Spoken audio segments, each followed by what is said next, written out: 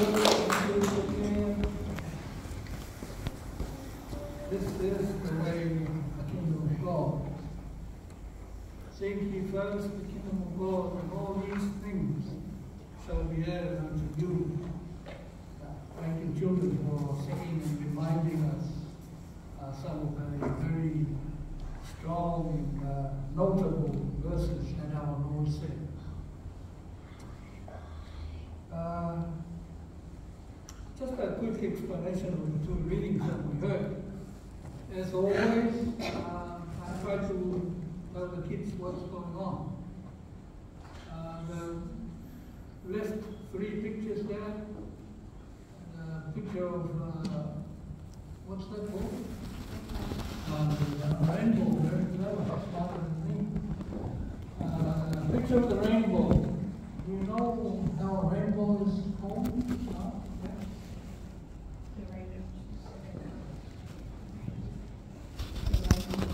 Rain, yeah. Rainbows, eh? There's, uh, clues in there. And sometimes you don't see the rain, but the rain particles or the water vapor in the air, or sometimes ice particles which contain water or water. And when the sun shines through them, uh, they bend. Uh, the, you know, the sun rays are very straight. But when it hits some water particles and some ice particles, it kind of bends uh, the straight line of the rays of the sun. And that's how uh, it appears like that. It, uh, it, uh, seen in many colors.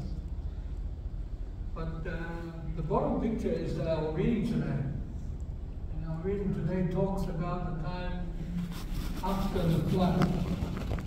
Flood was the time, uh, supposedly, when the whole world was covered with water and uh, there was nothing that uh, lived, saved only apart from the, the lives that were in the ark. The lives of Noah and his sons and their wives, and also the lives of uh, so many different animals of the world.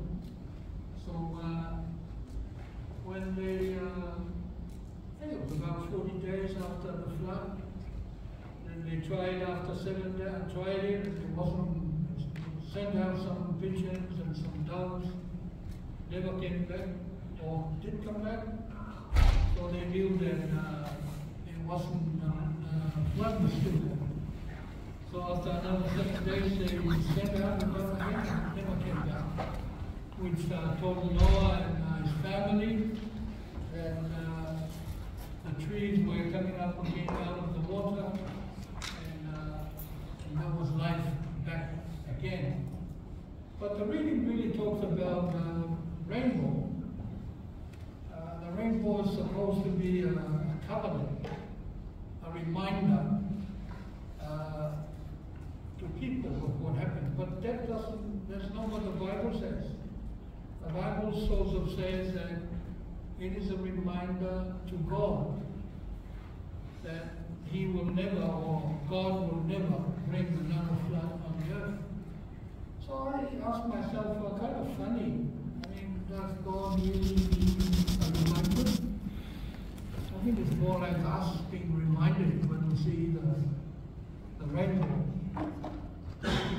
That uh, the rainbow was uh, came when the when the flood subsided, or when the flood went away, finished.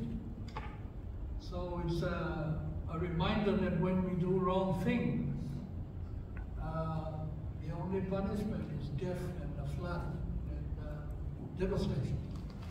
So it's a good reminder for all of us. The second story we read is about the beginning of Jesus' ministry. Both, uh, we heard the story from Mark, but Matthew also has exactly the same beginning of Jesus' ministry. It was when John was uh, locked up by Herod, put in prison. That's the time when Jesus decided that he will start his ministry. So it uh, tells us, the story of Herod and uh, really marrying his wife's uh, uh, wife uh, was a, not a good story. And John the Baptist was telling uh, the king, Herod, that's a wrong thing to do. Shouldn't do it. So uh, Herod ended up uh, locking John up in prison because he didn't want to hear uh, being reminded that he was doing the wrong thing. And uh, eventually, John uh, died, and that's when Jesus was uh, full steam ahead.